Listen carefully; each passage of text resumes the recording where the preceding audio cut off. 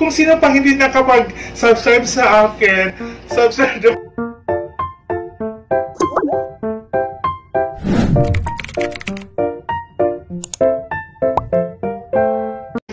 Welcome to my vlog, Ate Gaya Rica.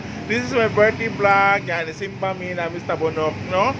Sus, kinoko yun ba? Nandiyo na akong duha ka mga beshi din sa sembangan. Una ka semba, yun ko. Sige, sige. Hello, welcome back to my channel. Ate Guy, you know what? This is the happiest day of my life, my birthday, my golden birthday. And here, we're in the church of St. Joseph Paris, the Father of Jesus, no? Then, thank you so much. Yan, nakadagot ko ganina. Yan, nakasimpa sa True. Then, let's go. Let's go. Dayon,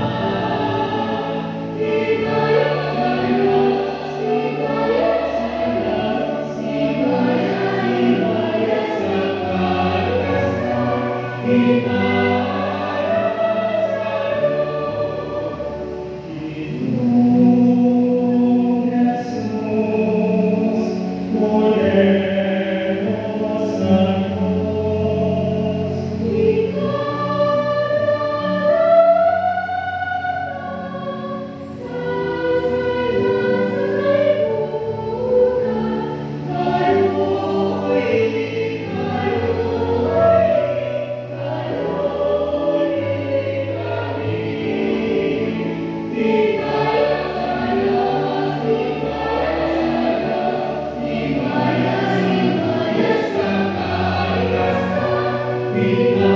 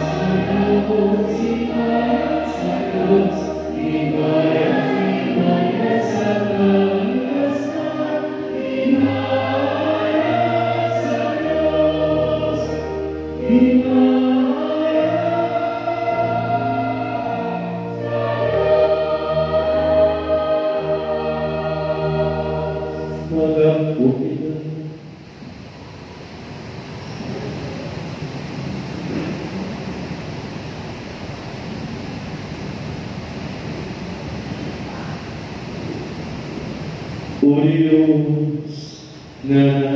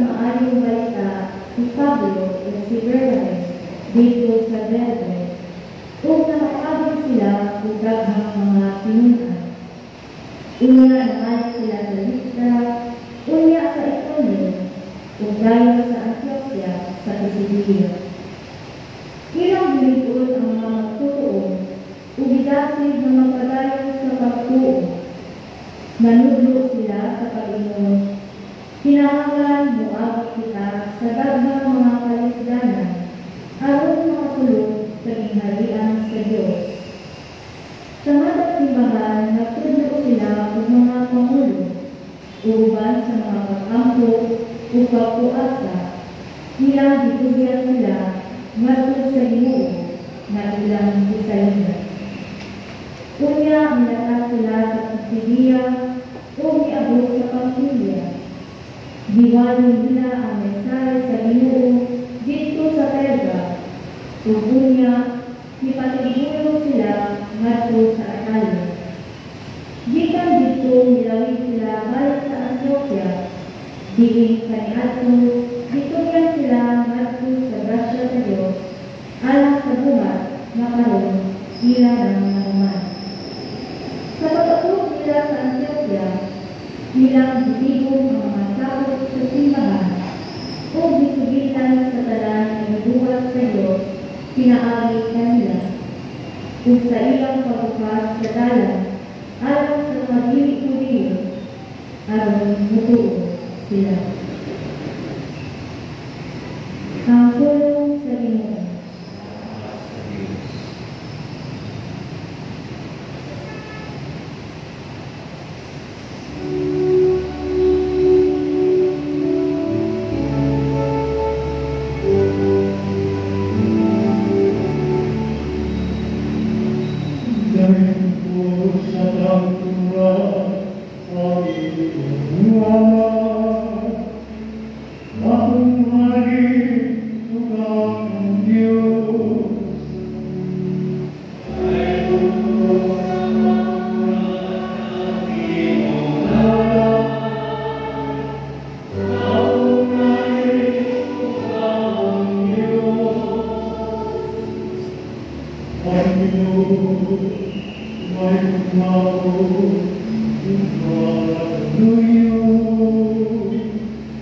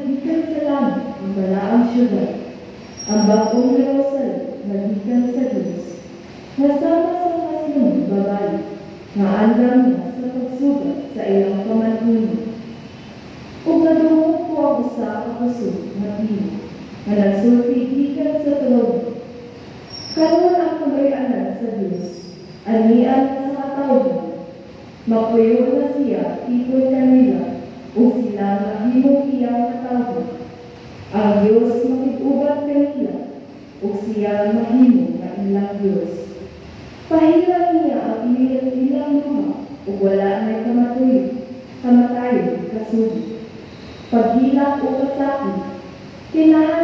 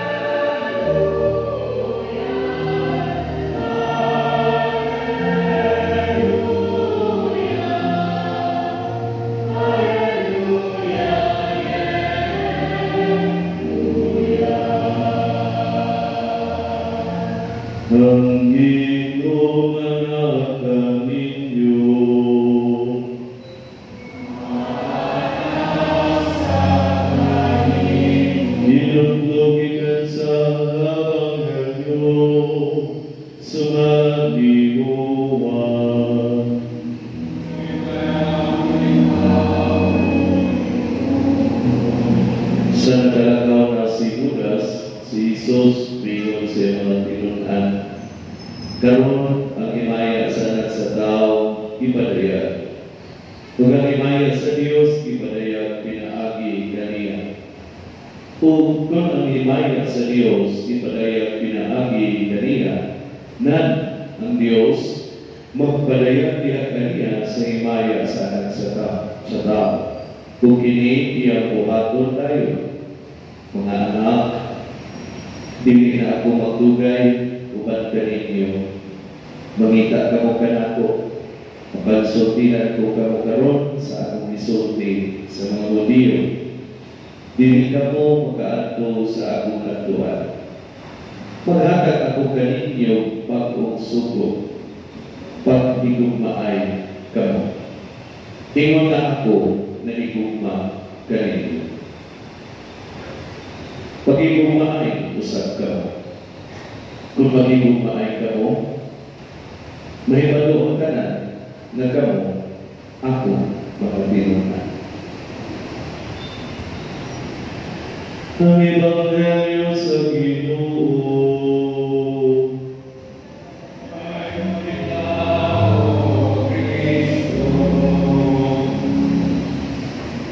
Paghigog maay kamo, ingon na ako na higugma kaninyo. Kung maghigog maay kamo, mahibalo ang tanan na kamo ako mga tinunan. Mga igsoon ko ng Kristo, may pag-abot ni Nikago yung kalastikan mong kasaulugan. Tanian na kita sa ikalima na Domingo, sunod sa Pasko sa pagkabataw. Kung niining Domingo ha, sa nato sa pagpamalandok ang tema nga gipahimungkatan sa atong gimnastikan ng pagbasa, partikularmente sa Ebanghelyo na atong nabati nga gikutlo sa Ebanghelyo ni San Juan diin si Jesus naglisod kabangin kung paghigog maay. Daw si Jesus na mihatag kong sukyo. Sukyo ka. Although ang ginitok din ni, ni Juan sa iyang Ebanghelyo, adun na ako'y pagkong sugo. No? Apan ang mga sugo, magkagat kung tumanon ba o dili. In short, sukyo lang yun eh.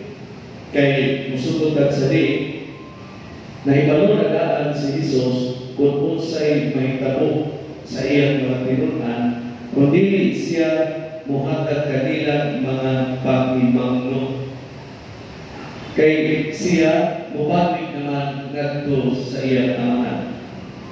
Sa sinundan padaan sa iyang pagpili sa napulong duha ka mga apostoles, nahibalo na siya kung unsay characteristics ni ining iyang mga pinili.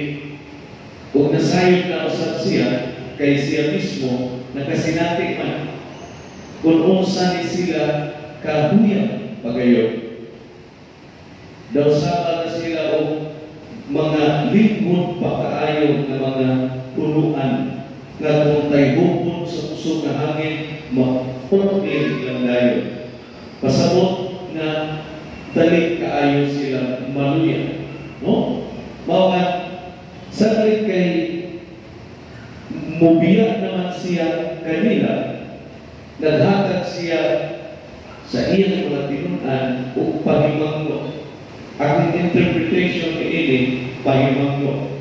And as I have said, nag-iingon ni San Juan, aduna ako'y pag-uong suko. No? Mayroon siya paghigog maay kamo. Unsa man ni namatag na gugma ang gi sugyo ni Jesus. Kaya na may nakalain kabuhay sa gugma.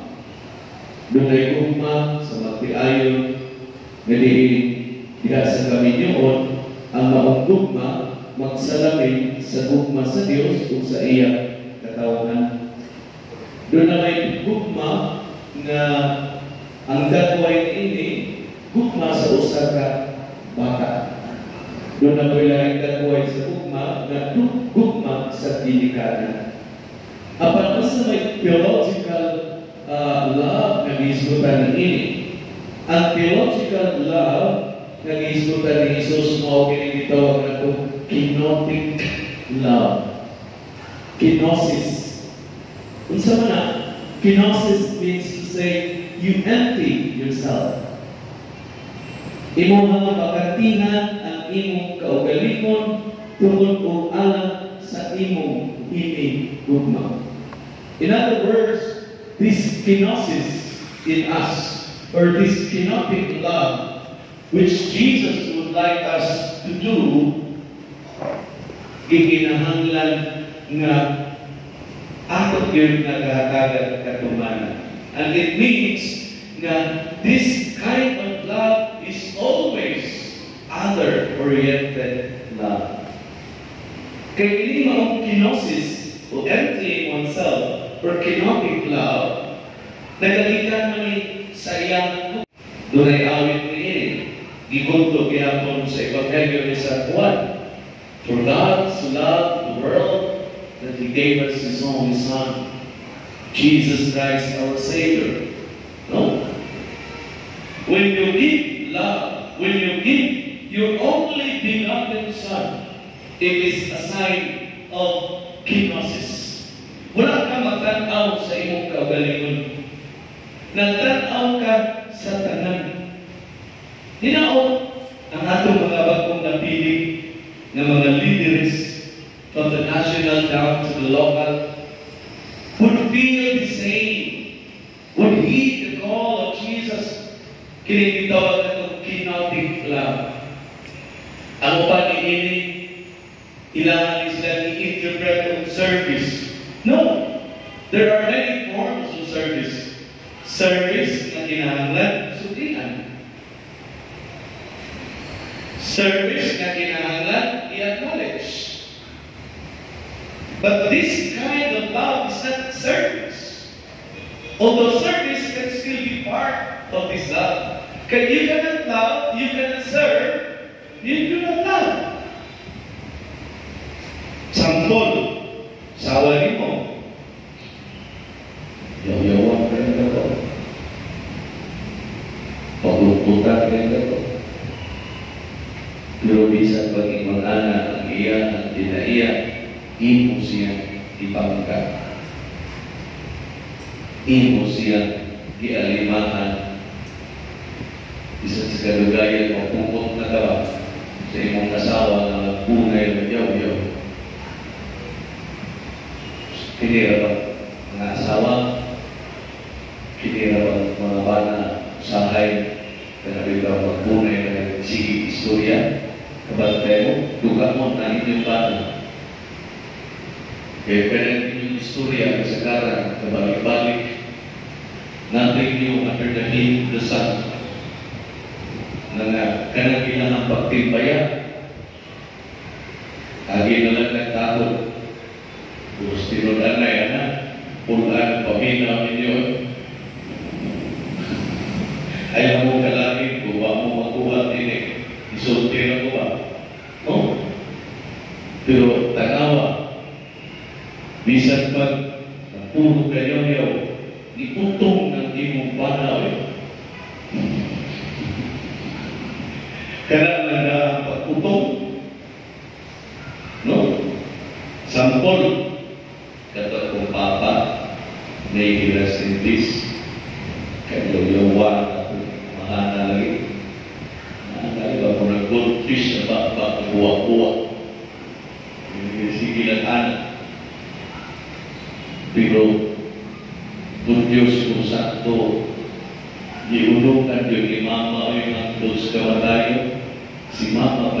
ba'y naghalagad May 31, 2017, 16, limot ko, ipugaw ni Mama si Papa kay mamahaw na iyang ipugaw alas 5 sa kadlaw mo man ang mata sa mga edad o si Tita Iuso, si Tita Inuipi, niya o Cinta, mo may tingmata na nila.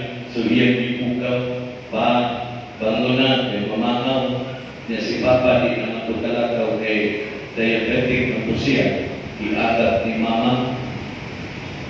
Matod pa nila ate, matutawag dito, nakapos parokya, di ko kapiya, wala mo ko himuha aron ato pus balay ato pus mga tao mga na pataw ko dito iagad ni mama padung sa iyang rocking chair si papa nagluto na ang pamahaw naluto na ang itlog ang kanon Kunya mo kamay sa baw sa inununan na dayon ato siya sa retiris pag ato niya patay na sa papa. Si mama mo ay nagsunod-sunod kanang nature sa tiguan. Naglalim, nature sa tiguan. I'm sure Bawal mo, di lang nato diri klaro yun, dididi. Klaro pa, dididi pa. No? Ganun call of nature sa tiguan pa. Ah, si mama, mamatay. Kung natoy sa kakaupa, kaapat ni mama, mamatay, nangunay. That is the sign of kenosis. Kinosis lang. Mamitaw na na nahuman na mga piniliay, balik ka. Ayaw ilang ipakita ang ilang tinuod na gugma sa katawan. Dili lang kay madunggon o mabarato na ang palaliton. Ano sa mga tao na mabarato palaliton na magkasama yun ang tao mo? Morbag tingin ka na ay nalang lumikilata ko kung may nailan kami. Ilan pag yun may palikam ka diha. No? Do whatever you wish to do for the good of the country. No? The people have spoken locally, nationally, hindi mo na ang mga tao. What we ask of them who have been elected, pure love of service. Ako usbon, pure love of service. Pero di kanta magbuhat nila Di maguwag nila na alagaan kanila. By ourselves, in our community, sugan na to sa pagpadayag ang tinuod na gugma. Ang paghatag o sa isip kausa. And that is kinaunan. Tinuod, lisod kayo na, kaputol mo kayo suot. We have to be real. What I have said sa Malaysia, ipanutin, these are all ideas. But we have, we have to be realistic. We live in this real world. Whether we like it or not. Sunod ang sarili sa nagsuong pata, we live in this real world. Nalisod kaayo. Sa pagkata, ugugma sa mga sinuda. Hindi lalaki natin. Ako sa kumbahin, lisod ko eh. Hanggang karoon ko, kung ekso, suntihan ka mo. Papakukalit ko, huwag mo ka mo forward sa akong kasinakihan sa eleksyon dito sa Bukid.